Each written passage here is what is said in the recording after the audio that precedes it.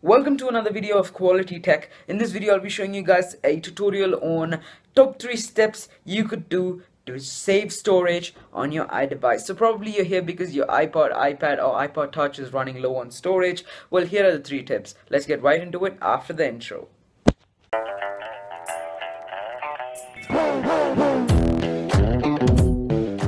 Three tips using which you could manage your storage efficiently on your iPhone.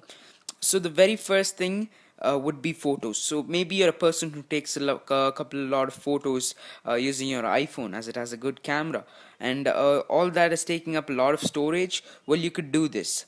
For my photos, I have two apps. One is the normal gallery, which is present with iOS, and the other one is Google Photos. So if I were to take a picture right now, it was uh, it's just gonna be a picture which uh, something like that. Uh, it would be saved in my photos. So after it gets saved in my photos in my camera roll right here then it would automatically move on to Google Photos. Let me just refresh that. Yes it'll automatically be present in my Google Photos right here. Now I could go ahead and delete this from uh, my gallery thus reducing storage from my phone. So basically this uh, is uploaded to the cloud. You could just log in by uh, entering your email id and access it from anywhere across the globe. So that's a pretty cool feature by google photos and you could save a hell of ton of storage. Okay so there are apps which you use regularly and there are a few apps which you don't really use regularly but you still need them well this is how you could handle them basically uh, the the apps which i need but uh, I don't use them regularly is uh, Flipkart, Amazon, and Quora.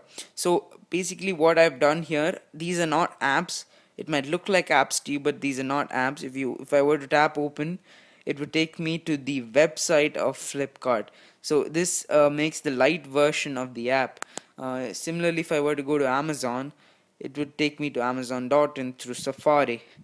Uh, here again, I'll be using the light version then if, if I were to open Quora then again the same thing so uh, basically how you do this is uh, you want to open Safari for example I'll just take Quora itself. And you want to click on the share button right there and hit on add to home screen and uh, maybe rename it as Quora itself and put it on add and that'll add this uh, to your home screen. So you could just access it from here.